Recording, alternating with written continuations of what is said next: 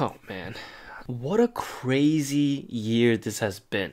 Okay, where do we even begin with all of this? You know, Monsta X was already involved in a totally separate controversy not one week ago. But that one was responded with an apology, and it even turns out it may have been started by people trying to sabotage their comeback anyway. So we're not even going to touch on that whole misunderstanding. But everything that has gone down in the last I don't know, three days at this point. It's like an avalanche coming down, getting bigger and crazier as it picks up. Let's try to go through what has transpired here. So, the domino that seemed to have tipped over first was a former reality star named Jung Da-eun who posted a photo of Wonho on TV with the caption basically saying, When are you going to pay me back? Da-eun also commented on the post saying that Wonho has been avoiding the situation. Now, this personal matter started seeming more than just that when Starship actually put out a response denying any truth to the post. Are you with me so far? Because it's going to escalate and I'm gonna have trouble staying with myself.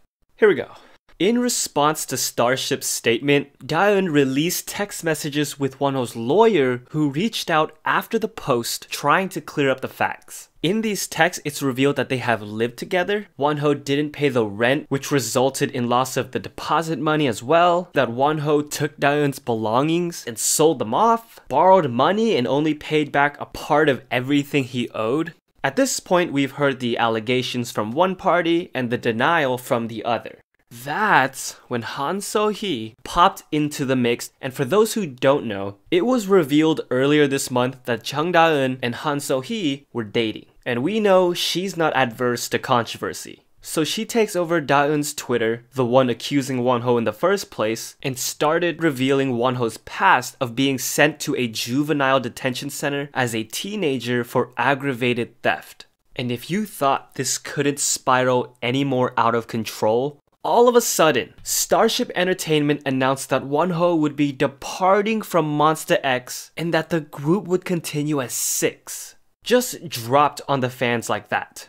According to their statement, Wonho didn't want the negative press to affect Monsta X, but that they would also be taking legal action against malicious rumors. Fans were devastated in light of this, especially after he left a letter admitting there was a time he was immature in his youth, that he has made small mistakes, he has made big mistakes, but saw that and straightened himself out after becoming a trainee. He apologized for causing fans pain, he thanked the fans, he thanked staff, and he thanked his members.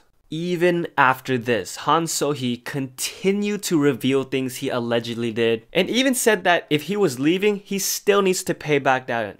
But those aren't the only things she said. Just when you thought this couldn't get any messier, she posted two stories saying that someone anonymously messaged them and that this person claims Monsta X's Shownu had an affair with his wife. Take a breath. The anonymous man continued saying Starship's legal reps told him Shownu will not get involved. He did not know she was in a relationship of any sort and they have not contacted since. Han Seo-hee deleted these pretty quickly for whatever reason by the way. Obviously Starship had to respond to this. They said the woman never told Shownu she was married. He didn't contact her after he found out and they will be taking legal action against excessive misunderstandings and speculation. But, oh man, this thing isn't even over yet. Dispatch released an interview with Jung Da-eun where illegal drug use of marijuana is brought up. Dispatch revealed that police are still investigating Wonho for this. Again, Starship also responded to these drug allegations by saying he got tested at the airport, but as far as they knew, it was just a regular required test and not an investigation. But with this response, they also revealed that they can no longer maintain an exclusive contract with Wonho, and that as of November 1st, his contract has been terminated. As I'm recording this, I think that's all that's out there right now. There could be so many other things I'm missing or aspects of it that I'm missing, but come on, there's so much information being thrown left and right as for Shownu's situation, I honestly don't know what to think about it. I don't know what's true and what's not. I can't just judge the situation prematurely and just spew out opinions. As for Wonho, several things to touch on. I don't think what he did in the past barring if he actually murdered or hurt someone, I don't think that should reflect on the person he is now. It's 2019. He's 26 years old. This was something he did, I think they said, when he was 16 or 17, nine years, almost a decade ago. But here's the other thing he did his time. He faced the consequences of his actions. He saw that he was granted another opportunity in life after becoming a trainee. And there are plenty of examples of who he is now versus back then.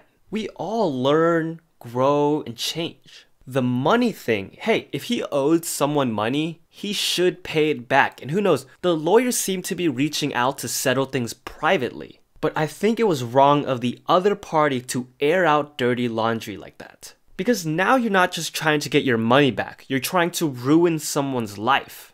And to a certain degree, you succeeded.